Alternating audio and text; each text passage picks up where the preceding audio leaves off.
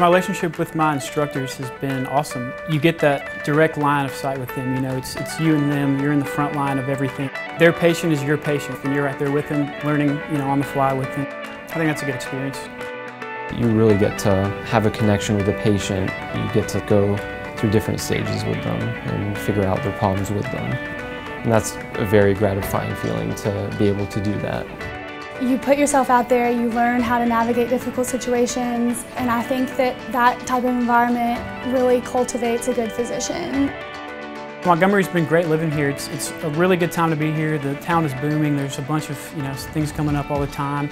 New restaurants, new places to hang out. Um, and the best part is it's, it's affordable. Montgomery is such an interesting place because it has so much history, um, but I think the city itself is also revitalizing and there's a lot to do. Different events down at Riverwalk and different things to see and I think it's a great place to be. It's great to be in a tight-knit group of students because medicine can be stressful, it can be exhilarating, it can be joyful and so to be in this small group of people that is also close is really nice to have that community to share.